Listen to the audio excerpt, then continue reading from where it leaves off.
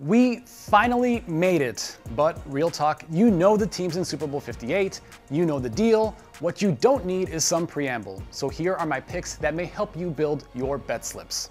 And let's get this right out of the way. I've got the Niners winning and covering, and I'm not going to spend a ton of time on this. Essentially, San Francisco has the better roster, the more complete roster, and while Mahomes and Reid can still work some magic, the 49ers are literally built to slow down an offense like this one. I'd take the Niners up to minus two and a half, but you could always hit that money line for a little more breathing room. Okay, let's look at anytime touchdowns. I love Travis Kelce in this spot. I wish those odds were in the positive, but I can live with minus 110. In the last three playoffs, the Chiefs have played nine games. Kelce has scored a touchdown in eight of those.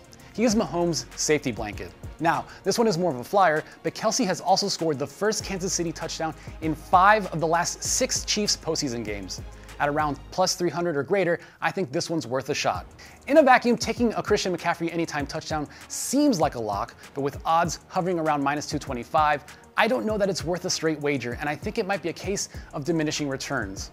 That said, if you have a spicy little three or four leg parlay you love, and if you want to boost the payout a little further, I'd definitely consider throwing a CMC anytime touchdown in there. I'd also consider a play of a Deebo anytime TD at plus 175. Now let's look at a couple of quick player props I'm liking. Isaiah Pacheco over 16 and a half rushing attempts.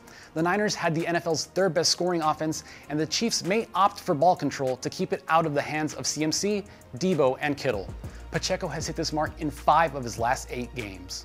Brock Purdy over 263 and a half passing and rushing yards. There's a chance Purdy hits this mark on passing yards alone, but against the Lions in the NFC title game, Purdy unlocked his mobility to compromise Detroit's defense. Against Spags, he may have to do it again.